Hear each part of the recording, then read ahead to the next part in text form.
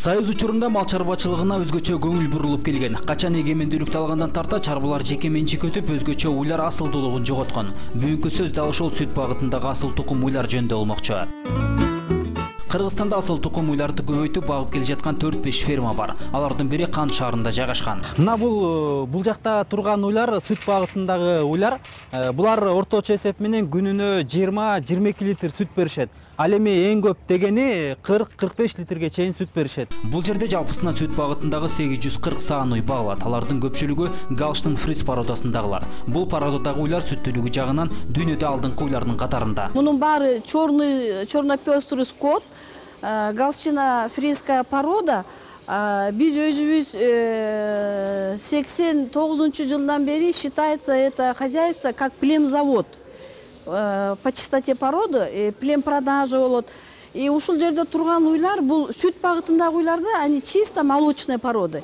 Бул жердеги асыл тукум уйлардын арасында үч миң литрден он миң литрге чейин сүт бергендери да бар. Мисалы сексен эки токсон эки номурлуу бул уй былтыркы жылы тогуз миң бир жүз элүү төрт литр сүт берген. Вот например биздин уйлар айылдагы уйлар бир сегиз литр он литр сүт берсе ойлойбуз да вот сүтүбүз көп деп вот теперь представьте сорок литров вот эти вот восемь литров молока. Өзүңүз баамдагандай жогорудагы уйлардын айыл жергесинде саалып жүргөн уйларга салыштырмалуу сүт өндүрүмдүүлүгү үч төрт эсе жогору. А бирок бул көрсөткүчкө жетүү оңой эмес. Алсак уйду багып көп сүт алуу үчүн өзгөчө тоют маселесине көңүл буруш керек. Стандартка ылай күнүнө бир уйга беш килограмм адыра эки жарым килограмм улпак үч килограмм чөп он сегиз килограмм силос алты килограмм сенаж керек болот. Мындай кара ала уйдун музоолору да өзгөчө кароого муктаж. Жаңы туулган музоо мына бул жылуу жайда он күн кармалып анан гана жалпы короого чыгарылат. Каждая клетка индивидуальная клетка белится моется подстилку сухую солому мына бул жердеги ар бир торчо тазаланып жуулуп турат. Өзүңөр баамдагандай бөлмөнүн ичи жылуу. Музоолор он күн бул жерде кармалат. Жаңы төрөлгөндө эле аларга мына мындай номурлар ыйгарылат. Алсак бул музоонун номуру жыйырма төрт отуз бир.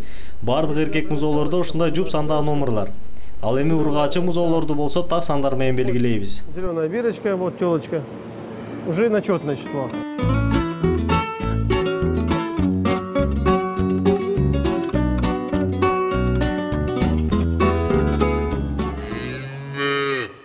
Здесь мы находимся в общей группе телят. Азыр болсо жалпы короого чыктык. 10 күндөн кийинки музоолор ушул жерде кармалат. Ал жакта өз энесинен болгону 10 күн сүт эмет.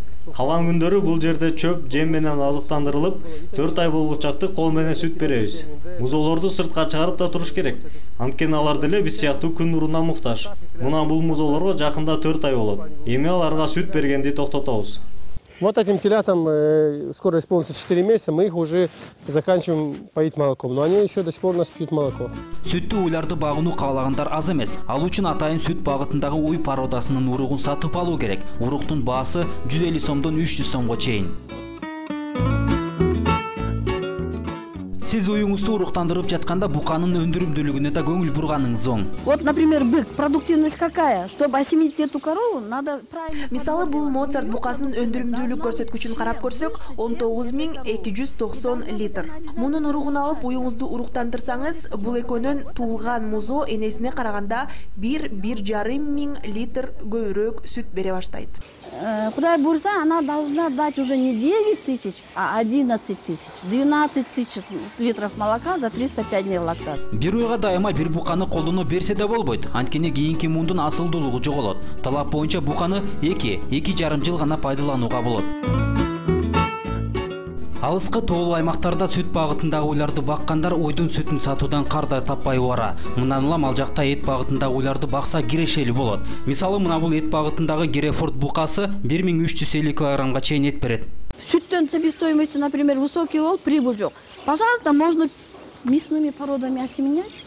И получить ошол эле потомствону бүгүнкү күнү кыргызстандын аймактарында сүт жана эт багытындагы уйларды уруктандыруучу үч жүз пункт иш алып барат ал жерден кадимки эле сиз саап сүтүн ичип жүргөн уйларыңызды ветеринардын жардамы менен аргындаштыруу мүмкүнчүлүгүңүз бар фризская ассоциация деген бар американский.